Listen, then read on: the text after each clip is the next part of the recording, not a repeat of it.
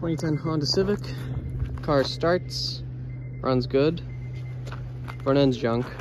Start up in a second, just really loud. No cat, no header. Front end's junk again. Driver headlights good, passenger's junk, fender's no good, same with the hood. Windows smashed. Passenger door, glass and mirror are junk, quarter's good. Quarter glass is good, quarter's junk. Taillight's junk, rear bumper, aftermarket, looks good. Other taillight's good. Same with the lid. And the wing.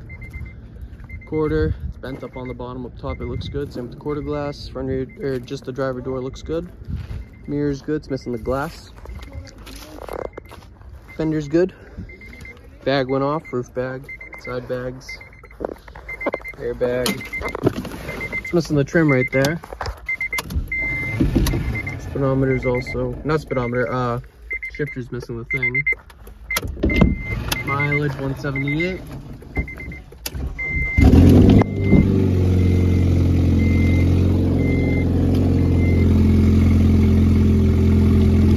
Windows don't go up and down, so I can't shift it.